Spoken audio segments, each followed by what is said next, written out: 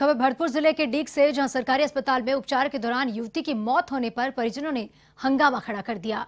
आक्रोशित परिजनों ने चिकित्सकों पर लापरवाही का आरोप लगाते हुए शव को सड़क पर रख दिया।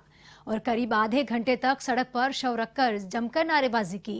वहीं हंगामे की सूचना के बाद मौके पर पहुँची एसडीएम और थानाधिकारी महेंद्र सिंह चौधरी ने परिजनों से समझाइश की। इस दौरान परिजन पोस्टमार्टम करवाए बिना ही शव अपने साथ ले गए। जानकारी के अनुसार जगदीश सैनी अपनी पुत्री को सांस लेने में तकलीफ़ होने पर सरकारी अस्पताल लेके गए थे, जहाँ मौजूदा चिकित्सक ने युवती को ऑक्सीजन लगाने के बाद रेफर कर दिया। परिजनों ने जब 108 एंबुलेंस पर संपर्क किया तो एंबुलेंस आने से पहले ही हॉस्पिटल में युवती की मौत हो गई।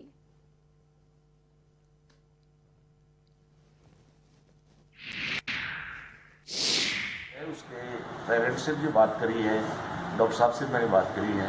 इसमें क्या है कि ये बच्ची बेटिया को सुबह जो है कि एडमिट कराया था, उसके बाद में जो है कि इनको दो इनका ट्रीटमेंट रेगुलर चला, उसके बाद में जब वो अपने आप को ठीक महसूस करने लगे घर वाले उसको वहाँ पर ले जाकर अपने घर ले गए, बिना इनकी अनुमति के और बिना इनको बताए हुए। हॉस्पिटल की यह है कि कम से कम जो है कि अगर एडमिट बच्चा किसी वैसे एडमिट कर देते हैं तो जो सरकार के नियम है कि चौबीस घंटे तक जो है कि उसको ट्रीटमेंट दिया जाएगा या जब तक वो ठीक नहीं होता तब तक चौबीस घंटे उनको अनिवार्य रूप से यहाँ पर रहना पड़ता है।